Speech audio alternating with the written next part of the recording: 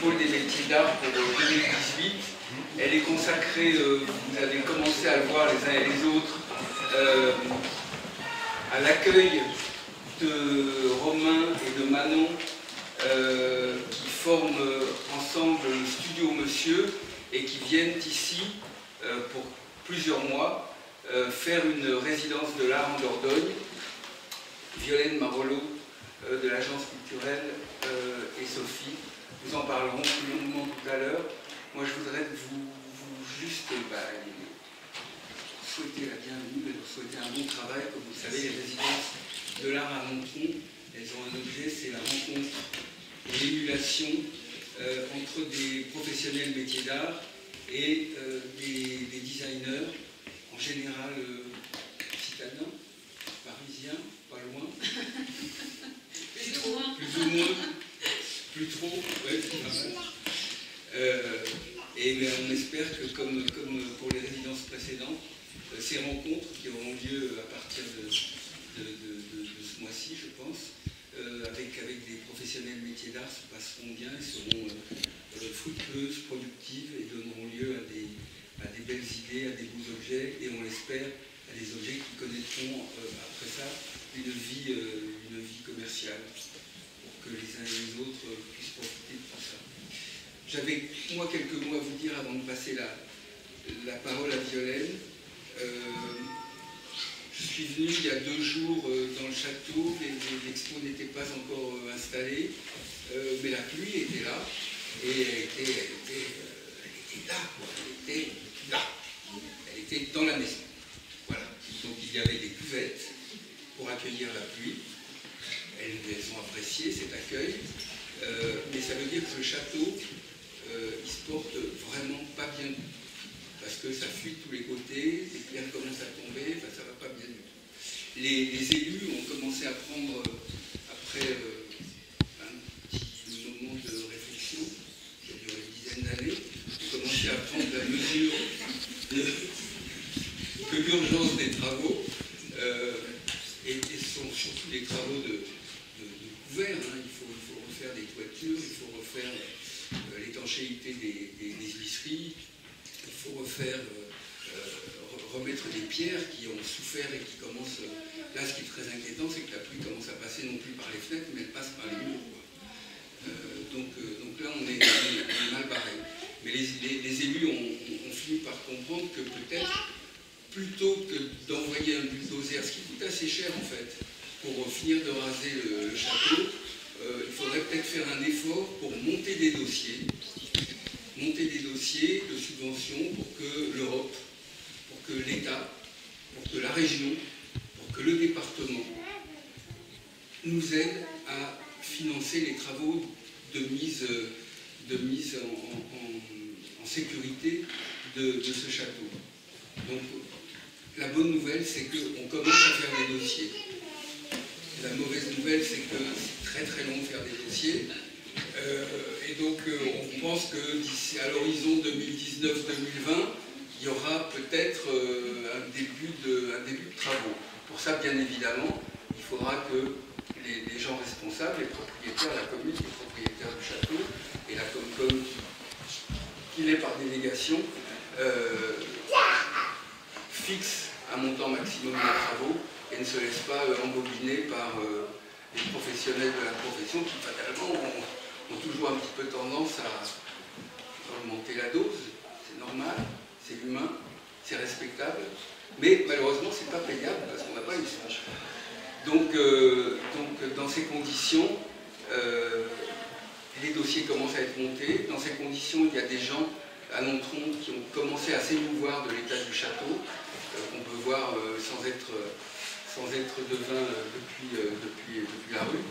Euh, et il y a une association euh, de sauvegarde et de restauration du château de Montron qui est en train de se monter. Euh, c'est à la fois des artisans, c'est à la fois des, gens qui viennent aux expos ici, et des habitants de Montron qui se disent que bah, Montron est une ville riche en patrimoine, la communauté de communes est riche en patrimoine. Enfin, il n'y a pas tant de choses que ça dont il faudrait s'occuper. Donc euh, des gens commencent à, s'en occuper, les élus commencent à s'en occuper, et nous savons derrière que euh, la commune et la communautés de communes n'ayant pas de sous, bah, il faudra les aider à financer leur propre part, qui sera de l'ordre de, 20 ou 30% du montant total des travaux. Et là, on sait qu'on devra faire appel, un, à du financement participatif, puisque c'est tout à fait la mode, et puis surtout à du financement par des fondations qui sont concernées d'une manière ou d'une autre par les beaux bâtiments et par, et par les métiers d'art. Voilà, je voulais vous dire que tout ça est en cours, il nous faudra l'aide de tous. Euh, sinon, je ne donne pas cher de la survie de ce château, parce que vraiment, il est, en, train de, en train de mal se porter. Donc, euh, on y travaille, on vous demandera votre aide, euh, mais en attendant, peut encore faire des belles expositions quand il ne peut pas. Euh, donc Romain et Manon, de monsieur, euh, viennent juste d'arriver en résidence à Nontron. Euh, donc c'est dans le cadre du programme de la résidence de la Rente Dordogne qui, existe depuis 20 ans, qui est coordonné par l'agence culturelle Dordogne-Périgord sur le département, grâce au soutien du conseil départemental de la Dordogne, au conseil régional Nouvelle-Aquitaine et à la DRAC Nouvelle-Aquitaine. Euh, donc ce programme, euh, chaque année, démarre avec trois résidences euh, qui débutent. ici, à Nontron, nous avons diffusé, d'ailleurs pour toutes les résidences, un appel à candidature. Il faut savoir qu'à chaque fois, nous avons 30 à 40 candidats chaque résidence. Et à l'issue d'un long un long périple de, regard de dossier, d'études, de rencontres avec trois présélectionnés. Nous avons choisi Romain et euh, Manon.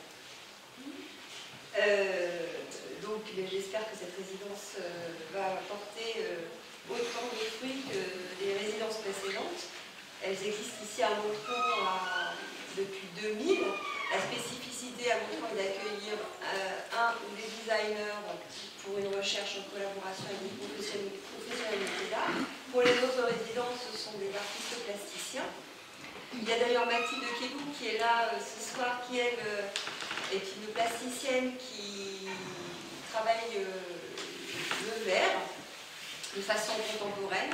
Elle est en résidence, elle, au centre hospitalier Vauclair à Maupont et elle fait sa présentation publique à l'arrivée en résidence lundi soir à 18h. Vous êtes les bienvenus. Il y a un fly euh, ici à l'entrée.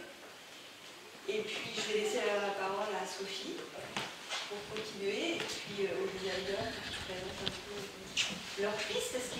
pourquoi est-ce qu'ils ont postulé ici à résidence à Micron Bon, tu as dit quasiment tout, donc je rajoute juste que en fait, les résidences de l'art, à chaque fois, c'est un partenariat effectivement avec la DRAC, la région, que c'est le conseil départemental qui développe les choses avec l'agence culturelle, mais à chaque fois il y a un partenariat avec un territoire, et donc nous il y a un gros soutien, il y a une vraie convention avec la communauté de communes du territoire et c'est le pôle en fait euh, qui, gère ça. Et le but ici c'est vraiment de, travailler, de permettre des échanges et des collaborations entre les professionnels métiers d'art et les designers. Donc là c'est la septième résidence euh, qui va débuter. Euh, on aime bien et à Montron, ça se déroule sur un temps assez long, donc là c'est le début, mais enfin ça fait déjà une semaine qu'ils sont là, donc on commence déjà à se connaître. Et euh, donc en fait la, résidence normalement se déroule sur trois mois, mais en fait ces trois mois prennent la forme de plein de séjours euh, jusqu'en fin 2019. Et euh, on aime toujours ici préserver ce temps qui est l'exposition de début de résidence, qui vous permet en fait de rencontrer justement les designers qu'on accueille, de, découvrir leur travail et vraiment de, marquer le début de la résidence comme ça euh, et, cet accueil euh, voilà, pour, euh, pour, savoir un petit peu avec qui on débute et vers quoi on va pouvoir aller ensuite. Voilà, donc là il y a eu, c'est la septième résidence en fait. Et donc nous sommes ravis d'accueillir Romain et Manon. et là vous allez pouvoir découvrir les, projets qu'ils présentent ce soir et donc jusqu'au mois de mars. Ce sont, nous permettent vraiment de, voir, de découvrir leur, leur, manière de travailler, leur rapport à la matière, la manière dont ils abordent les savoir-faire traditionnels, les techniques, et donc ils ont pu déjà travailler un petit peu avec, avec les, professionnels des métiers d'art. Donc donc c'est intéressant de voir ce qu'ils ont pu déjà tester, expérimenter, dans des contextes qui sont très différents du nôtre, mais avec des approches qui sont quand même euh, euh, vraiment euh, intéressantes pour tout ce qui est métier d'art. Donc voilà, ça, nous permet de découvrir leur personnalité, leur manière de travailler, et je pense que aux professionnels métiers d'art qui sont là, en tout cas, de vous donner envie de travailler avec eux, je l'espère. Voilà, donc merci beaucoup, et puis bienvenue, et ils, sont, totalement inconnus, mais ils ont eu quand même euh, le grand ah prix du design. Du jeune design. Le grand prix de la création de la ville de Paris. Voilà, la ville de Paris en, 2015. Donc en fait, ils sont, ils sont déjà bien lancés.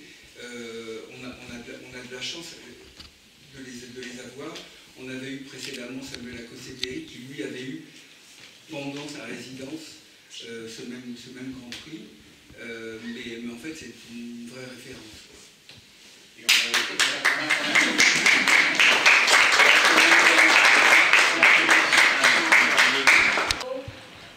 Ils ont pas mal voyagé, mais on est bien, ouais. Finalement. Euh, non, mais donc, nous, dans notre pratique, on, participe beaucoup à des projets de scénographie euh, autour d'expositions, de concerts, et souvent liés à la culture et on dessine des objets. Euh, quand on travaille autour de l'objet, c'est vrai qu'on s'est beaucoup intéressé au métier d'art et euh, comment, euh, au travers de ces collaborations, on peut valoriser un patrimoine historique, culturel et géographique.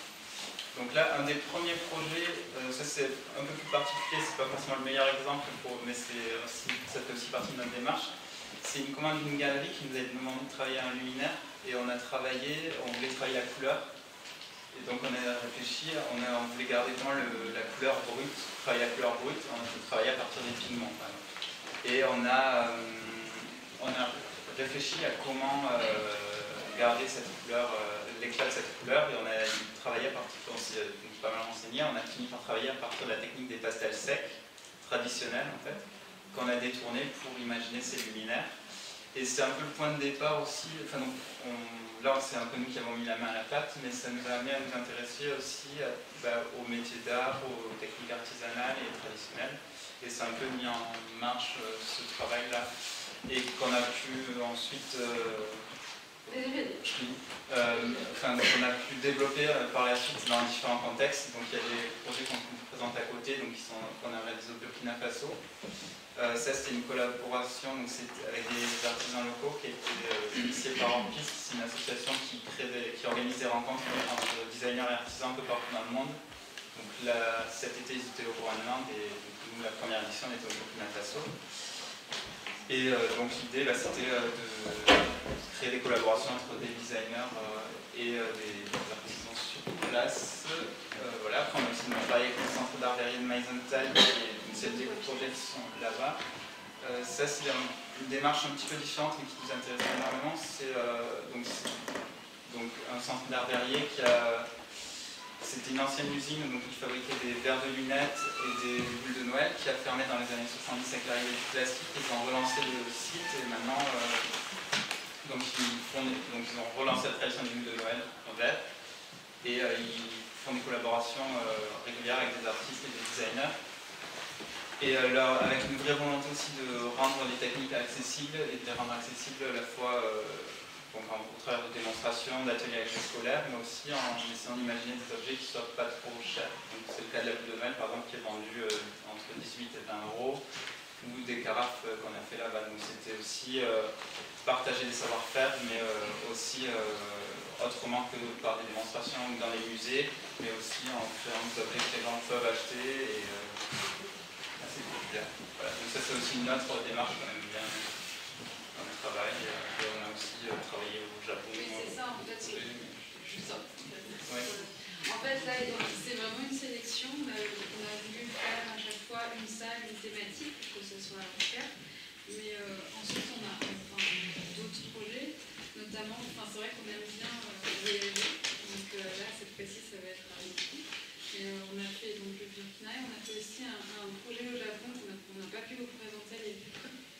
des objets là parce qu'ils sont là-bas. Mais on vous invite aussi à les visiter, peut-être sur, sur notre site internet, il y a, d'autres projets que vous pouvez découvrir. Donc, on a travaillé avec d'autres artisans là, d'autres sculpteurs, sculpteurs sur bois, plein de. en fait, on est intéressé par énormément de choses. J'espère que ça se transparaît dans la sélection qu'on a fait pour vous. Il y a le cinéographie qui transparaît pas mal aussi, hein, parce que là, c'est le bain de couleurs et lumière, ça fait du bien. Ouais, on a bien